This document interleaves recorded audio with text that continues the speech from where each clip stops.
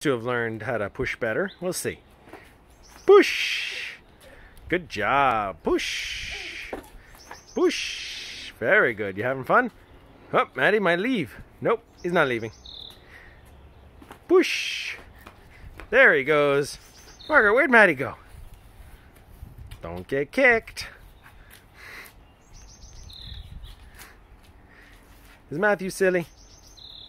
Okay. Goodbye, sillies. Can you say goodbye, Matthew? No? Okay. Bye, Margaret.